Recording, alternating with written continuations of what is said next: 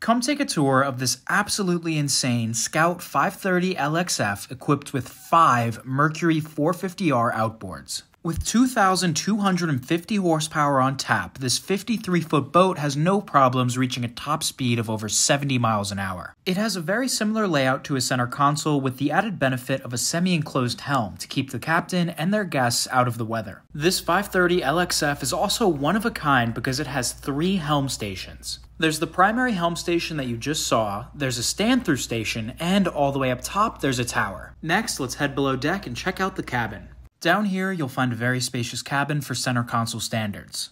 All the way forward, you'll find a very spacious berth with this very cool backlit stone inlay all the way around. The main part of the cabin features a dining area that can convert into an additional berth as well as your galley. Super cool boat that's great for both fishing and entertaining, and let us know what you think down in the comments.